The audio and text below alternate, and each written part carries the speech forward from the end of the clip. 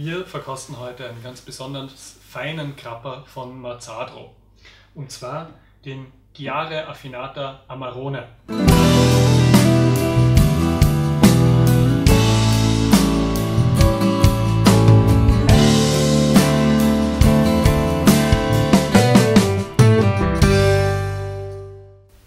An dem ist jetzt nicht nur besonders, dass er bei der IWSC 2012 Gold gewonnen hat als bester Krapper weltweit, immerhin, sondern was hat es denn mit dem Amarone so auf sich?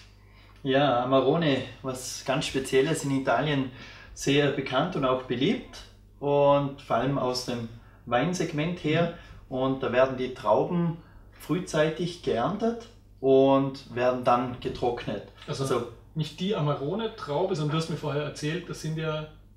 Es sind mehrere Sorten und die ergeben ein Cuvée, den mhm. Amarone dann, der äh, eben die Trauben, wenn sie von der Rebe genommen werden, abgeschnitten, aber an der Rebe zusammen, also an, an, den, Stängeln. An den Stängeln zusammen äh, getrocknet werden und je nach Klima und Stil, den der Amarone haben soll, äh, verschiedene Trocknungszeiten hat, das über mehrere Wochen bis hin zu einem halben Jahr dauern kann. Okay.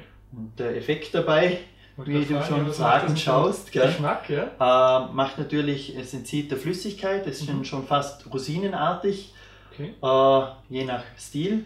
Und wie du von Rosinen kennst, äh, wenig Flüssigkeit, bis Rosinen schlussendlich mhm. dann eigentlich fast gar keine mehr.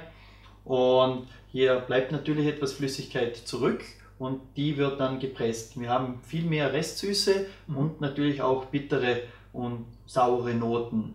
Und mhm. die werden hier wundervoll kombiniert ineinander. Okay, das heißt von der Theorie her müssen wir auf zwei Sachen achten. Auf die Süße und die Bitterkeit und das Zusammenspiel von diesen zwei Polen eigentlich. Jetzt bin ich nämlich gespannt, wie sich der im Glas macht. Das werden wir probieren. Steht auf dem Fass und war lange genug im Fass. Stimmt, ja. ja. Also der, es ist ein, denke, es ist ein Blend.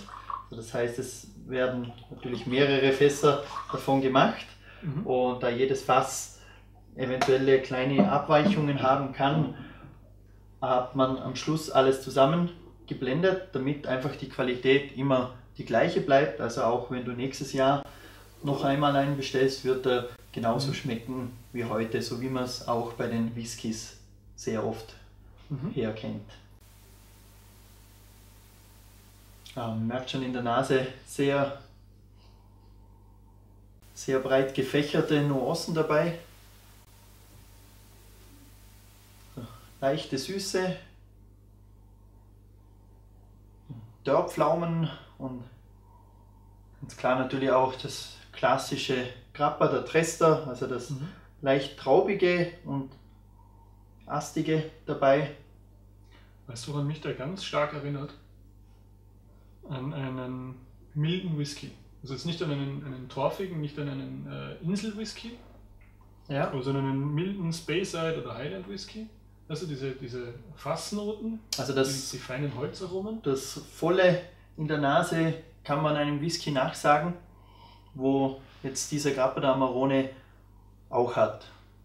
Es liegt ja auch daran, ähm, der war ja tatsächlich mindestens drei Jahre im Fass, ne, im Holzfass. Äh, und zwar bei einem Blend immer, zählt immer der jüngste Teil, das heißt Teile von diesen äh, Chiare Amarone waren wahrscheinlich auch um einiges länger.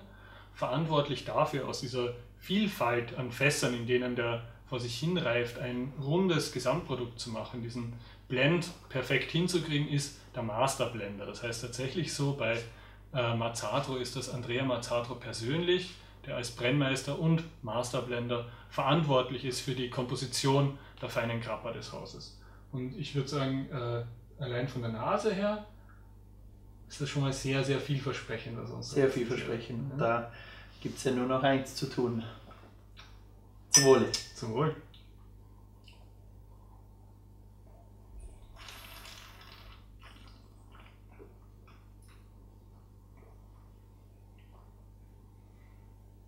Also wundert mich nicht, dass der bei Whisky kennen beliebt ist. Also ein sehr vollmundiges Aroma.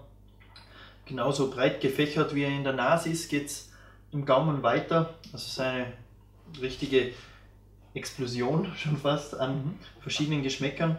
Äh, die bittere Noten sind dabei, für mich so Bittermandeln, die Dörrpflaumen, das fruchtig-süßliche und auch dezente Säure im Hintergrund. Mhm. Das sehr schön ineinander eingebunden und man merkt schon, wie sich das Ganze ein bisschen auflöst und Platz macht für andere Geschmacksnuancen. Also man merkt jetzt im Abgang eine ganz feine Süße noch. Die hinterher kommt, die Traube kommt jetzt im Nachhinein mehr durch als am Anfang. Und sagen, das ist von Anfang bis Schluss ein definitiv großes Erlebnis, dieser Amarone. Ich bin immer wieder beeindruckt von dem Vokabular, mit dem du das beschreiben kannst, wenn ich sage, schmeckt wie ein guter mhm. Whisky. Äh, was ich interessant finde, ist vor allem diese, diese, dieses Spiel zwischen äh, Süße und, und Bitterkeit. Also das ist hier wirklich perfekt gelungen. Also da kann man sagen, der, der Master Blender hat seine Aufgabe gemacht. Und das ist, glaube ich, das, was diese, diese Erinnerung an Whisky weckt. So ja. immer schwankt, ne? nicht, nicht zu rauchig, nicht zu süß. Und das ist genau hier, was ich hier auch schmecke. Also die Kombination, ja, die ja? Kombination mit den getrockneten Trauben und den drei Jahren im Fass ja. gibt ein wunderschönes, harmonisches, rundes Produkt. Wirklich, das finde ich so ein, ein, großartiger Vertreter für diese neuen, hochwertigen, modernen Grapper, die lange Zeit im Fass gekriegt haben, die einfach was ganz anderes sind als das, was man früher oft mit Grappa verbunden hat. Jetzt ist man wirklich also ganz eindeutig in der Oberklasse angekommen hier. Also würde ich sagen, beginnt spätestens bei der Chiari-Reihe von Mazzaro. So.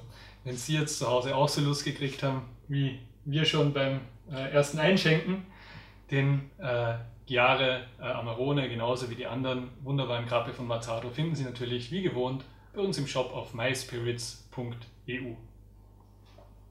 Von uns an dieser Stelle bleibt eigentlich nur noch viel Spaß beim Genießen und bis zum nächsten Mal.